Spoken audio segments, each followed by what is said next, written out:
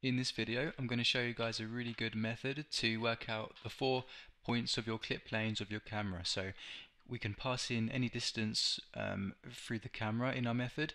So if we pass in a distance of 0.3 we'll be able to work out the clip plane points of the near clip plane. If we pass in a, a distance of 1000 we'll be able to work out the far clip plane points, so the points at the far end of the, uh, the camera field of view. So these four points here. So I'm going to code this method in this video, then we'll be able to find the four points at any distance in our camera, and that's really important when finding our drag and mesh points. And we'll be using it in the next video, but feel free to use this method wherever you want in your games, it's really handy to find out any clip plane points. So I've made a new region in my mouse script called structs, and I'm going to define a new one, a public struct, I'm going to call it clip plane points. So this is just like a, template of an object where we can then store our clip plane points in here if we wanted to. Um, so I'm going to define a public vector 3 and call this one upper left so that's going to be the first point. point and let's just copy and paste public vector 3 and put it down here so the next one is the upper right and uh, lower left and lower right so this struct is going to contain four properties.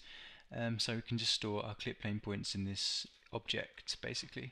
So with that out of the way, I'm going to scroll down and uh, make this method. So right at the bottom, um, if you're developing your own games guys, you can ignore all of this code. This method is not de dependent on any of this code, so don't need it.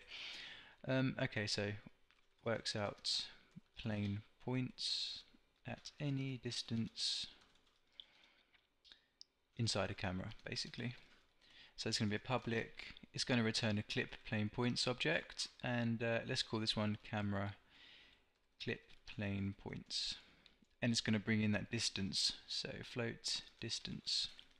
Okay so okay before I explain how we're going to work out the points I'm just going to define the return object. So let's make a clip plane points object. Let's call it clip plane points but with a lower c plane points equals a new clip plane points object. Okay, and right at the end we're just going to return this. So return clip plane points. Okay, so in this space we need to work out the four points of the camera. So let's pretend we want to pass in a value of 0.3 to work out the near clip plane. So I'm going to hop over to my full screen mode and this is our setup. So this is my camera and um, this is the near clip plane and this is just the distance between the camera and the clip plane. So firstly I'm going to draw this from a side view. So that's my camera point and my near clip plane in the side view will just be a line okay? And the four points will be here and here. So you might realize that if we put in our field of view angles this makes a triangle. So this angle here is the field of view so field of view. And uh, if we split this triangle in half it makes a right angle triangle, so right angle here. And it turns out we can work out this height. So this height here will be half the height of our plane inside our camera, and we can work that out. And from there we can get the aspect ratio of the camera and times the height by it, and then we'll work out half the width. Okay guys, so we know this distance already, and uh, if we get the field of view divided by 2, we get this angle here. So to get the ratio of um, this distance and the angle, we can just use our mathf tan function. So all we need to do here is put tan mathf tan, bring in this angle in radians, so the radian angle, and then we just times that value by the distance. And that's how we get our height. Okay, so equals height. This is just one line of code in Unity, guys. And then all we need to do is times the height with the aspect ratio of the camera and then we'll get the width. The width. Okay, so my pen tablet is a bit slanted, so that's why I'm um, writing like this, but never mind. So with these two little calculations, we can then get the half height of this plane and the half width as well. Okay, so then we can just make new points in 3D space and move them forward and left and right to um, work out each of these points. So we can do that now in our um, in our C sharp script. Whoops.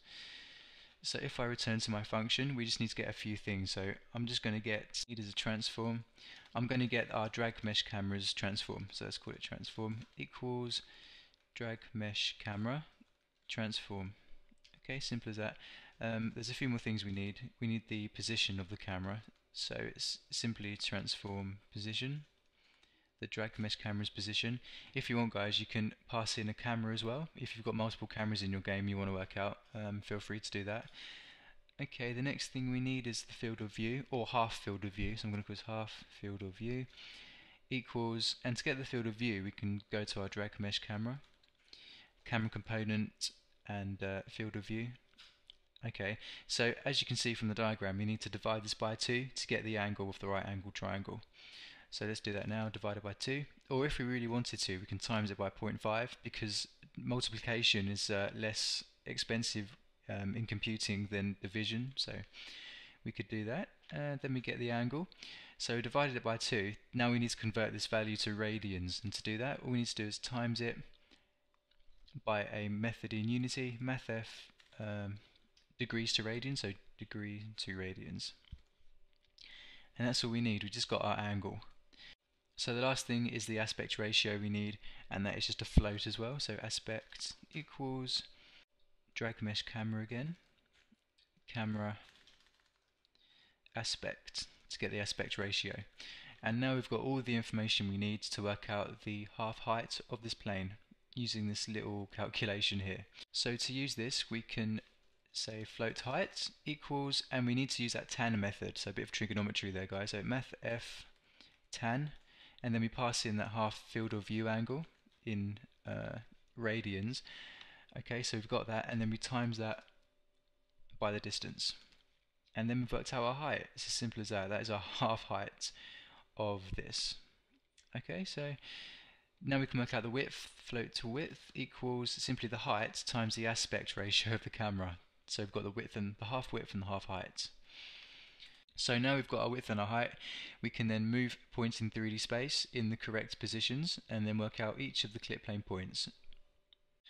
So the first point I'm going to work out is the lower right point. And we can start off by actually defining the point itself, so clip plane points our return object dot lower right equals so I'm going to bring it forward I'm going to say the position of the drag mesh camera. So we'll start here.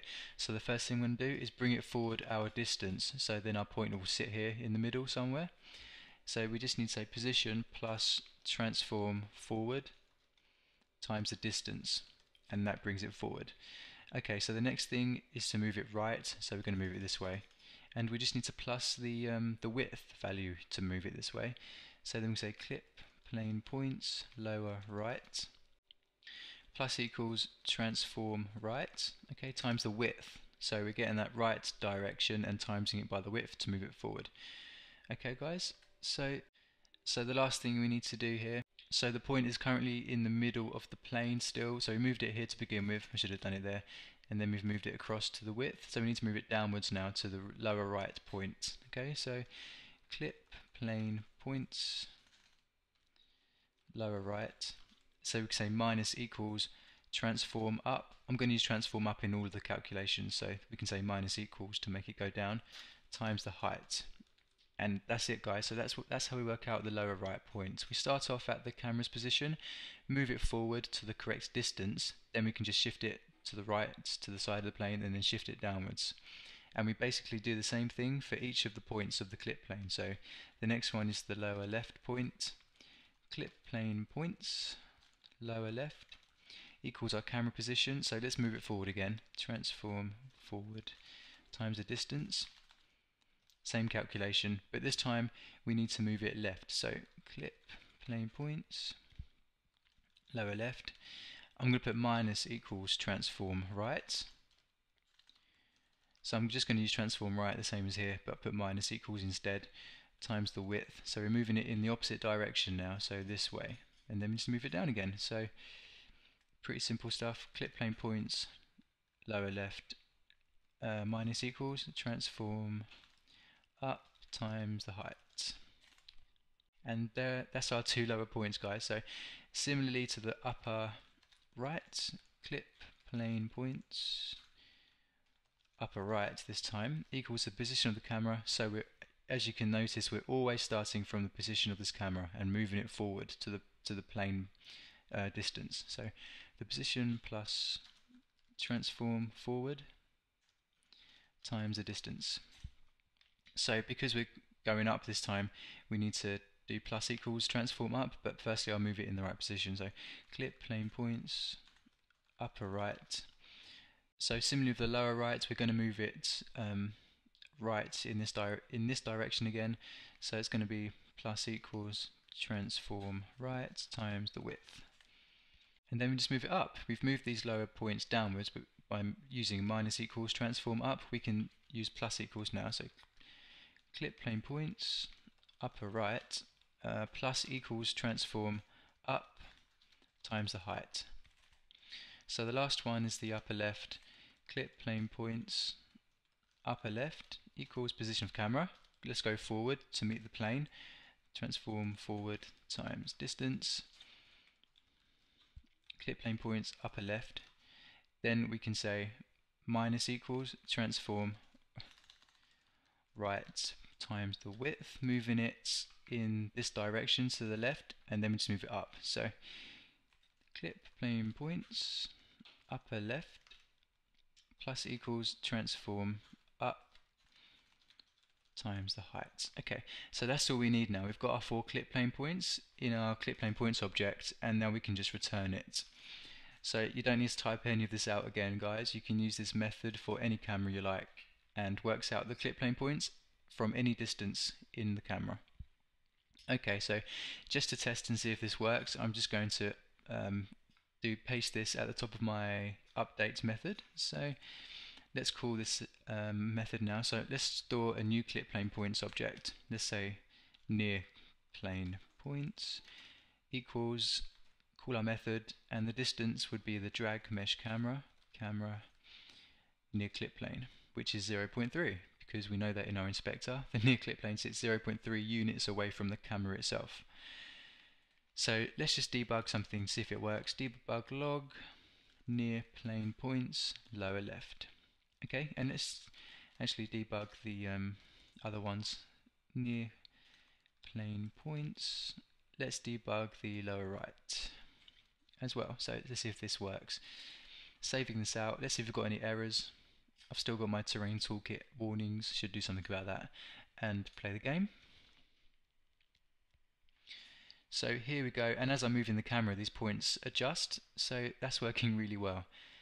And uh, there are clip plane points. So I hope this helped you out, guys. We're going to use this method in the next video to, to determine um, the points of our mesh in 3D space based on this 2D drag. So we're just we're so in the next video we'll actually get to converting this 2D drag into a 3D mesh. Okay, thanks for watching the video guys, see you in the next video.